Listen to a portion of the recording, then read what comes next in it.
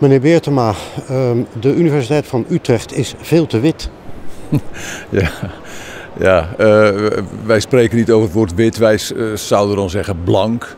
Maar het is natuurlijk absolute totale onzin dat een universiteit zich uh, gaat bezighouden met de kleur van studenten. Ja, het is een bijlage bij een onderzoek. maar het is natuurlijk best wel zorgelijk als we zien dat bepaalde groepen in de samenleving de universiteit niet halen. En dan mag je best afvragen, hoe komt dat? staat bijvoorbeeld in het rapport heel simpel dat studenten met een niet-westerse achtergrond, die hebben vaak ja, niet zo'n respect voor studies als geschiedenis en andere culturele studies. Ze zijn wat meer economisch ingelegd. Ja, dat die, studenten, dat die studies dan denken, hoe kunnen wij onszelf aantrekkelijker maken voor die doelgroep? Dat vind ik niet zo raar dat je daarover nadenkt. Als die studenten daarheen willen, dan komen ze wel.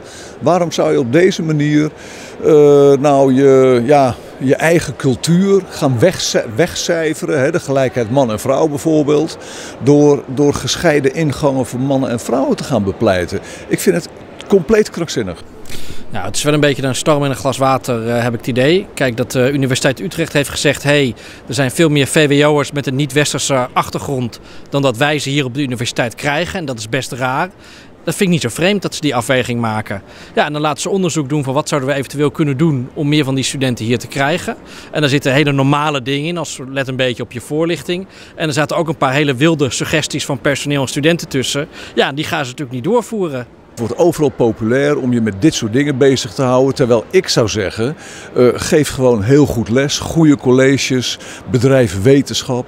En ontsla al die diversity officers, want ze voegen niks toe. Geen genderneutrale toiletten, want dat vinden ze niet eng en dat soort dingen. Kijk, dat hebben zelfs die onderzoekers niet eens opgebracht. Dat is uit sessies gekomen die met studenten en personeel zijn uh, geweest.